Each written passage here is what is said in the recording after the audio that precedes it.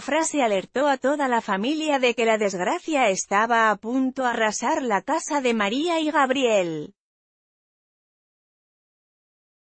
La joven le envió a su madre una nota en la que le advertía, me voy con el creador.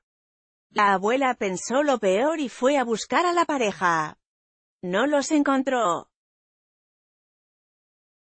ni a ellos ni a los dos niños asesinados de tres años y cinco meses, por lo que avisó a la policía. María y Gabriel aseguraban que eran seguidores de la sociedad secreta de los Illuminati, y muchos allegados ya eran conscientes de que tenían problemas mentales.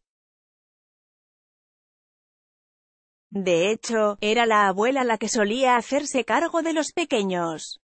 Él está muy mal de la cabeza, a mí dejó de hablarme porque decía que tenía demonios dentro, explica una amiga de María en declaraciones publicadas en el periódico Levante.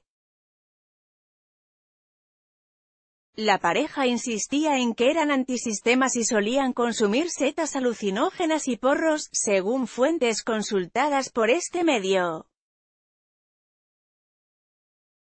Ambos serán sometidos a las pruebas toxicológicas para determinar concretamente su estado pero no destacan que estuvieran bajo los efectos de alguna droga puesto que los agentes los encontraron confusos y diciendo cosas inconexas.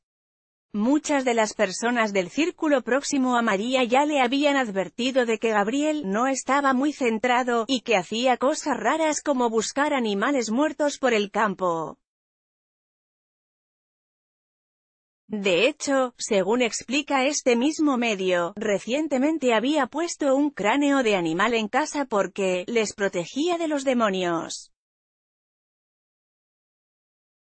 El origen de los Illuminati se sitúa en el S.